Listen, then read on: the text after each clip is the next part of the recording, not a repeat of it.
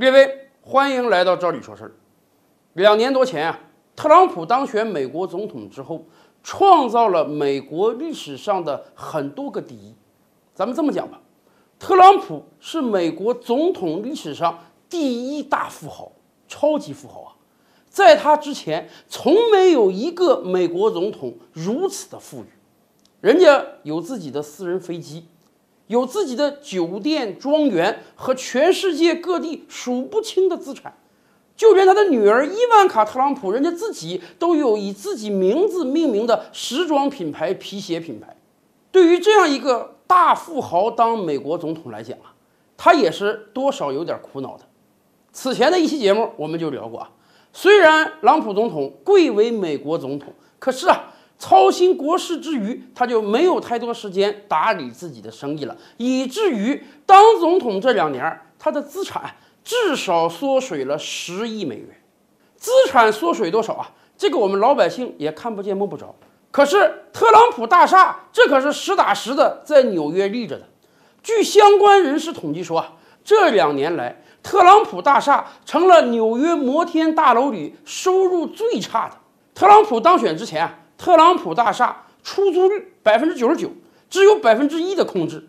而这两年以来，有很多人就因为“特朗普”这三个字不喜欢，人家选择搬离特朗普大厦，导致特朗普大厦的空置率达到了惊人的百分之十八，超过纽约市平均空置率一倍的水平。讲到这儿啊，我们先给大家看看图片，哎，看看这个特朗普大厦，规模还是很宏伟的哦。这个大厦。建于上世纪的一九三零年，曾经在短短一个月的时间内啊，它还是当时世界上最高的大厦。在一九九五年的时候呢，特朗普把这个大厦买了下来，并且用自己的名字给这个大厦冠名。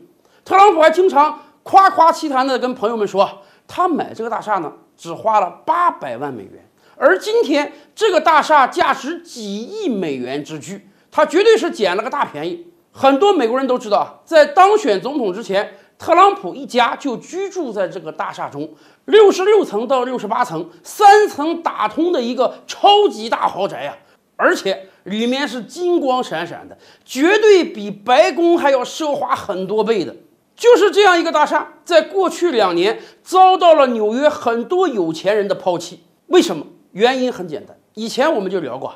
说朗普总统当选之后啊，美国社会撕裂的更严重了，尤其是在纽约这样一个地方，有的人就统计说，纽约支持特朗普的人大概连百分之十都没有，高达百分之八九十的纽约人是讨厌特朗普的，所以很多住户说，我怎么能跟我讨厌的人住在一起？尤其是我住的家为什么要用特朗普的名字来命名？所以人家宁愿搬走。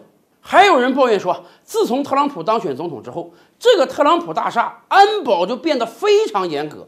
这个咱们想想也是啊，好歹人家总统家在这个地方，你必须得加强安保啊。很多人抱怨说，以往我开个车打个车，我可以在我这个大厦门口，我家门口停下来，我走进大厦中去。现在不行了，隔着大厦几百米，美国特勤局就要请你下车了。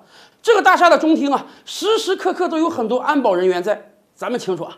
美国人，尤其是美国富人，是特别讲究隐私的。很多人不愿意让自己啊暴露在众多的安保人员视线之内，所以短短两年之内，就有大量的人卖房退租，让他的空置率从百分之一一下子就跃升到了百分之十八。当然，虽然空置率上升了，但是啊，特朗普集团倒没有损失太多钱。为什么？总有那个愿意附庸风雅的。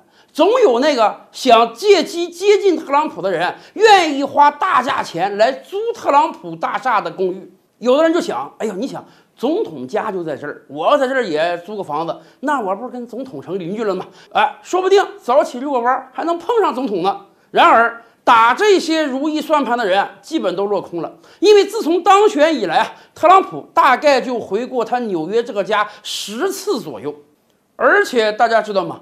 特朗普大厦未来面临的都不只是经济上有可能有损失，控制率要进一步提升，因为特朗普本人在全球范围内还有很多资产啊，有的资产是在海外的，大家记得吧？乌克兰总统波罗申科那也是一个超级富豪，波罗申科当年在克里米亚的资产就被俄罗斯没收了。所以啊，去年美国和土耳其关系闹得不太好的时候，土耳其就有政客说。特朗普在伊斯坦布尔也有特朗普大厦。如果跟美国关系闹得再僵一点，干脆他建议土耳其政府把特朗普在土耳其的大厦给没收掉。